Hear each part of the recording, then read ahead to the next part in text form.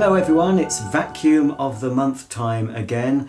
In this video I'm going to give you my opinions on the Miele Dynamic U1 and of course I'll be taking the bag out and we'll weigh the dirt and see how much it's picked up over the course of November and then I'll also reveal in this video what vacuum I will be using for the month of December as voted by you.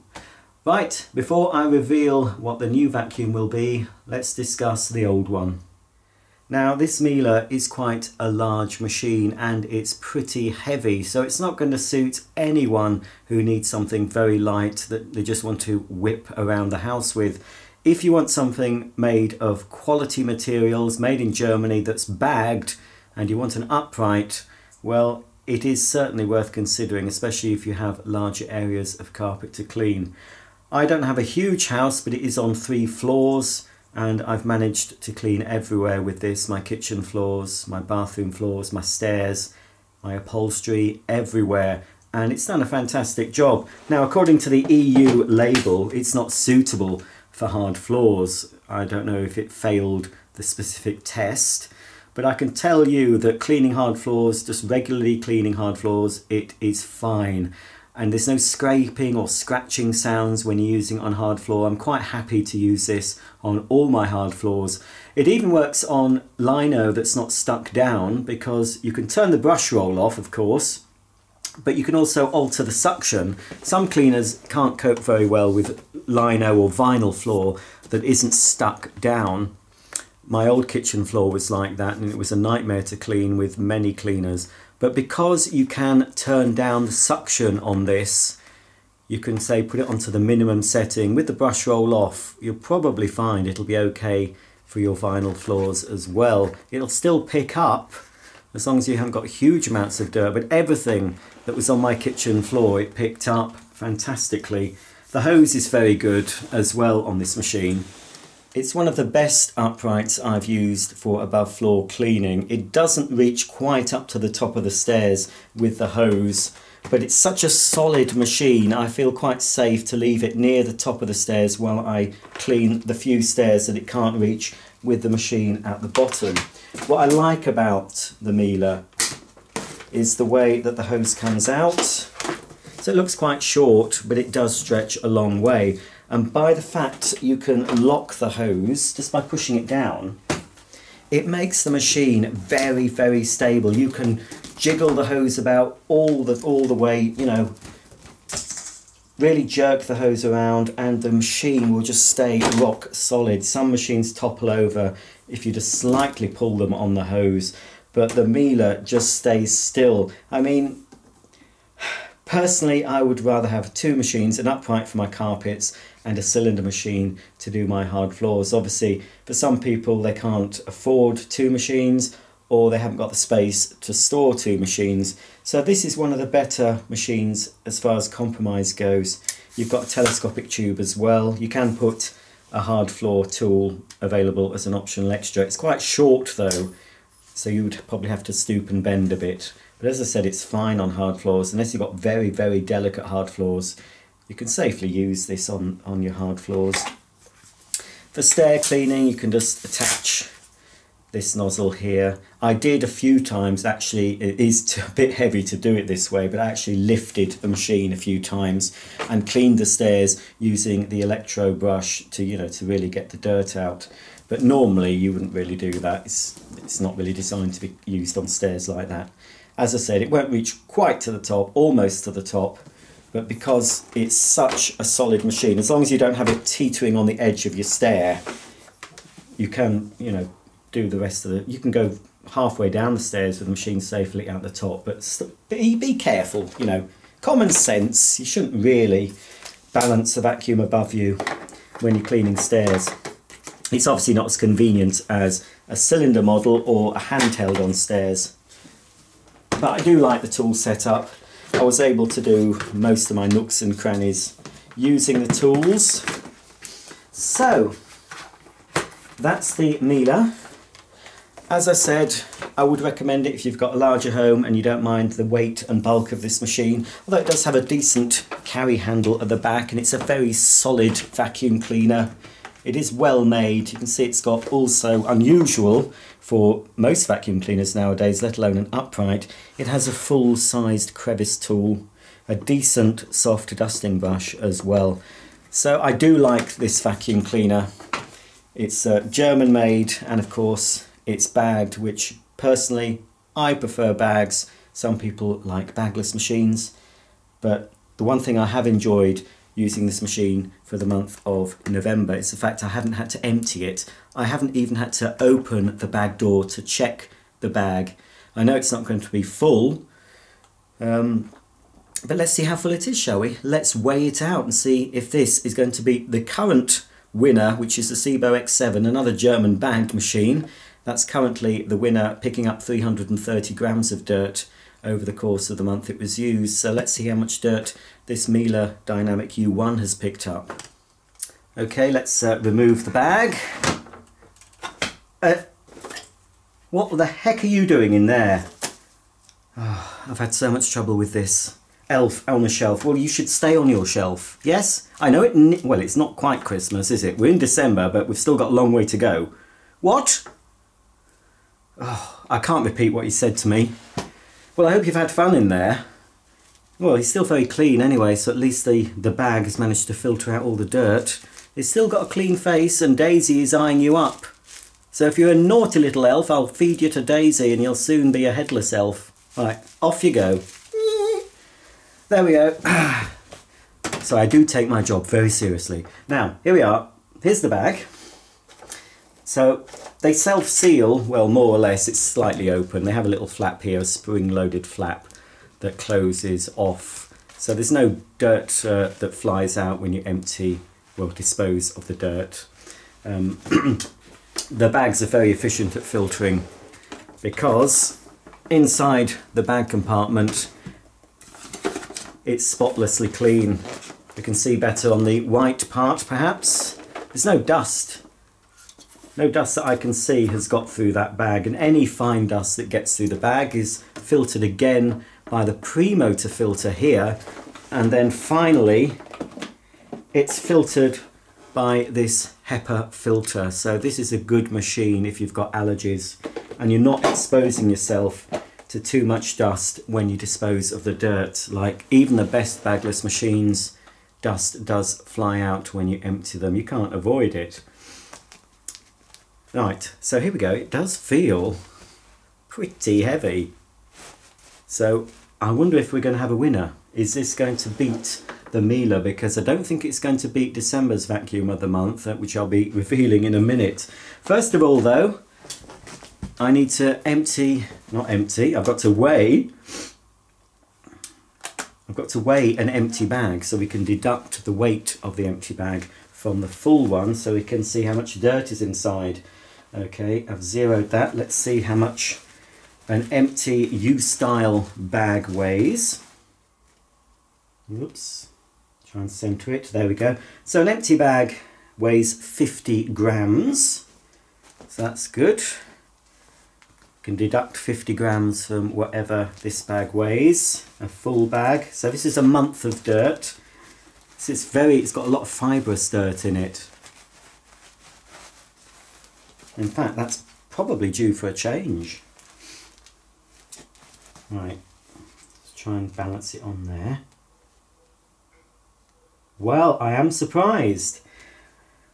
290 grams and of course we need to deduct 50 grams from that so it's actually picked up 240 grams of dirt as opposed to the Sebo that picked up 330 grams so the Sebo so far before the end of the year is in the lead I'm really surprised because I thought the Miele would beat it to be honest because you can just feel that it seems to be doing a good job when you're using it. You can hear the vibration on the carpet. You can feel that it's got some agitation. It certainly picks up the pet hair, which uh, you can see from all this fibrous. It's very soft like a pillow, so it'll probably have a lot of hair and fluff in it.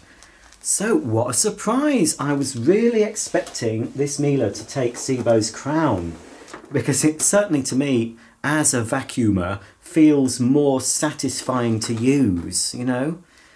Well, blow me down with a feather. I'll pop the uh, pop the bag back in just for now. and then I'll be labelling that up with the month. And in the new year, you'll see all the dirt that I've picked up over the course of the year. I don't know if many people will have saved all the dirt they've cleaned out from their carpets and upholstery, but I have. And it's in the garage, fortunately, because it smells. I opened the box where all these bags were, and uh, it doesn't smell very pleasant, I can assure you. Okay then, that's the Miele, a good solid machine if you don't mind the weight and size. Let's see what's going to be cleaning my home for the month of December. Thank you for all your votes, by the way. I had 237 comments on that video where you could vote for vacuum of the month. Not all of them were votes, there were a few comments, but most of those were votes. Now, if you voted for more than one vacuum, you naughty people, I've taken your first choice as the vote. Okay, and I know some of you, I think, has voted more than once, but under different YouTube names. But anyway, I've taken it. I don't think it's going to affect the results, although it was pretty close. So, let's run through in descending order which got the least votes. So, in 10th place with only four votes was the AEG Precision Brush Roll Clean Upright. So, few, I'm glad I didn't have to use that for a month to be honest. Then in ninth place with six votes was the Vax Blade Cordless. Again, pretty relieved I didn't have to use that.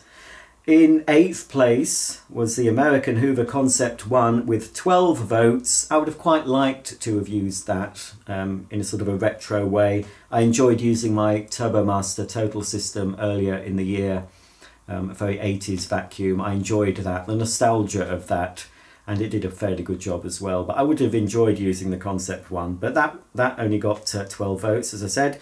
Next, in seventh place, came the Bosch GS50, the bagless machine, with 16 votes. Then another cleaner I would have quite liked to have used, the Sebo E3 Premium, that got 22 votes in sixth place. Now, in joint fifth place, both with 25 votes were the Miele C3 Electroline and the Shark upright, the Apex style upright cleaner. So they were both really in fifth place. So there's no fourth place because we had a joint fifth. So in third place, another cleaner I would have liked to have used was the Panasonic Icon, very popular with 31 votes. In second place, with only one vote more, with 32 votes, was the Dyson Small Ball.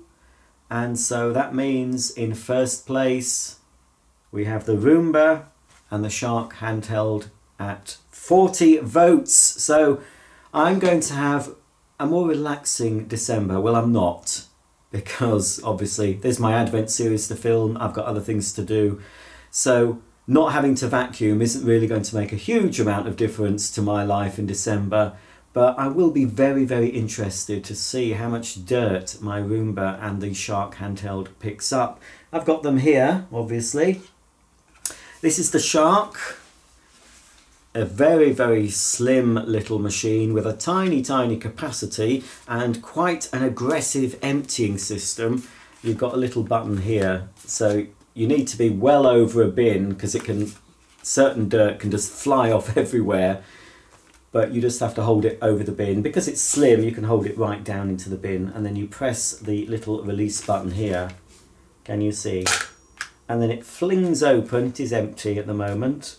So that needs emptying really after each use. So I'm going to use this for my nooks and crannies. Now it does have a couple of tools with it so you can use it like this, of course. So if I've got any crumbs on my worktop, like, uh, or I need to remove the toast crumbs from underneath the toaster, I can use it just like this. Or I can attach the crevice tool for going down the sides of my chairs and things and along the skirting board. It's also got a little brush attachment that flips out like that. I can do a little bit of dusting. I don't think I'll be doing much dusting this, uh, this December, but you never know. So there's that. But for upholstery and stairs, and I've used this to clean the stairs, and it's pretty effective. You've got this little nozzle here with litter pickers either side of the suction outlet. And it's pretty good. Um, you clean your cushions and things with it.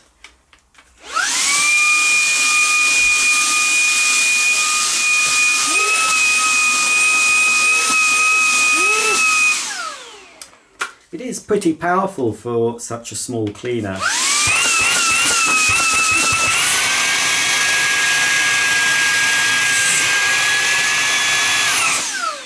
So it can actually support its own body weight with the suction. But obviously, as I said, it's a tiny little unit. So after each job, I will be emptying it into a bag. I'll also be emptying the Roomba into the same bag because obviously it's a joint effort this month.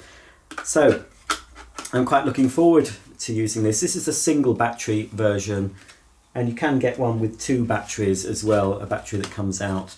Um, I'll be fine, I think, with a single one as long as I keep it charged in this dock. it fits in just here like that and the two small tools fit on the back. Best place for this will be like in your kitchen on the worktop or if you're lucky enough to have a utility room you could put it in there on the worktop. It's quite a stylish looking vacuum isn't it?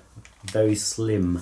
So that's going to take care hopefully of all my above floor jobs and for my carpets and floors, we've got this Roomba. I'm not sure what model it is actually, but it does have a scheduling feature.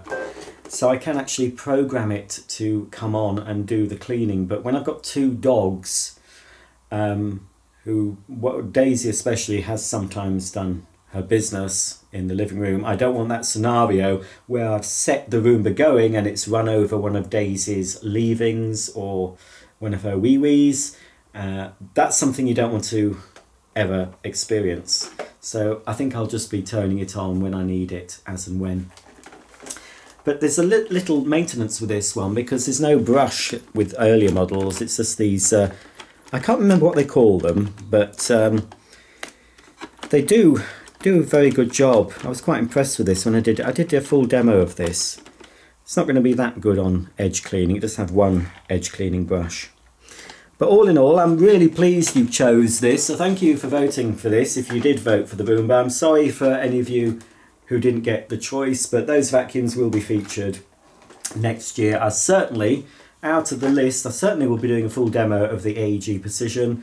The Vax Blade will probably get another demo, the Concept 1 will, the Bosch definitely will, and the Sebo E3, the Miele will the icon, I think, has had quite a lot of coverage already, so you might not see that for a while. The Dyson Small Ball, oops, there we go.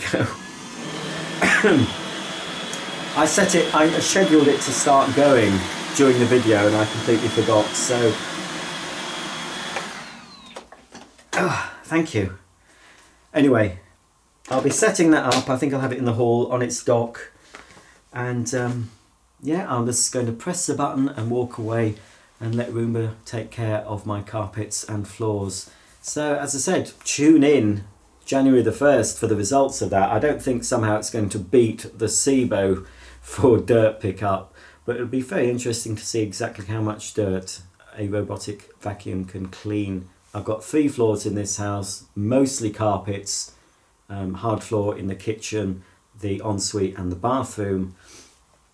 But I'm going to have to Roomba proof it because like when you bring home a new puppy or if you have a toddler in the house, you need to baby or puppy proof. We have to Roomba proof as well. So you have to make sure that there's no loose cables or fringes off curtains or anything that it can get caught on because the Roomba is going to go under places you probably don't clean all the time. So you need to go everywhere um, and just check that there's nothing that's going to get caught up or damaged inside the Roomba. It's a, it's not something I would recommend for a cluttered home. You got if you've got kids with lots of Lego and little bits that are all over the place. It needs to be a home that's normally kept quite clear and free so the Roomba can do its business, so to speak. But anyway, I'm really looking forward to December. It'll be a nice break, cleaning wise. But in January, I'll have free reign to use lots of different cleaners. I could use several cleaners a day if I wanted to. Um, because as I said, I've enjoyed doing the um, vacuum of the month, but it's time to discontinue that and do something else. Well, that's about the end of this video. If you've got any comments or questions, please comment below. I hope you enjoyed my first Advent video that I uploaded earlier today. Tune in same time, same place for the second Advent video. And of course, a new video will be uploaded every day right up to Christmas Eve. And then finally, you'll see my Christmas Day unboxing extravaganza on the 25th. If you'd like to contribute to my Christmas Day video with a small gift or even a large gift, you'll find my Amazon wish list below. Just click on that link and you'll see all the things I've asked Santa for. Um, I'd be very grateful for anything received. Don't forget, if you do buy anything from the wish list, put a gift note in and then I can thank you during the Christmas Day video. So, until the next time, which will be tomorrow, I'll see you then. Bye for now.